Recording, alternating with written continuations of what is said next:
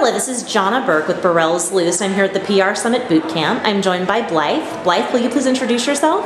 Hi, my name is Blythe Beaubien. I am the principal at Wine Press. We are a full-service public relations agency based in San Francisco, and we focus on food and beverage PR.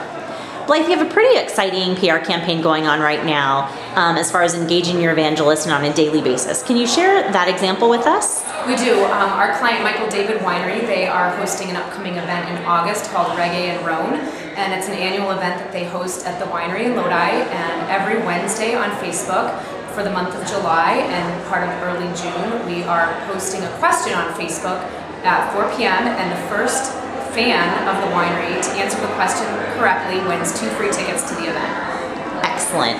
And I think that's a great way to be able to use social media for engagement purposes as well. And I wish you all of the luck on your event. Can you tell people where they can find you in social media? Sure, at Twitter, um, at WinePressPR. Fantastic. Thanks so much, Blythe. Thank you.